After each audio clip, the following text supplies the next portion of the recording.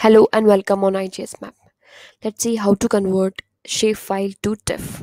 It's SHP to TIFF. For this, switch to click on converter. After this, you will be redi- redirected to the new screen. Step 1 drag and drop. I selected that file.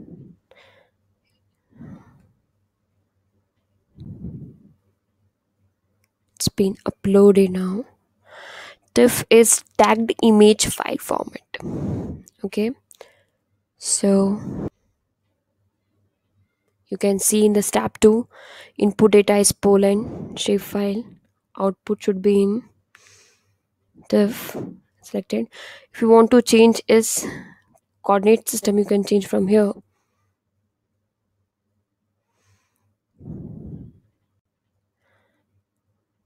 Close. Convert file.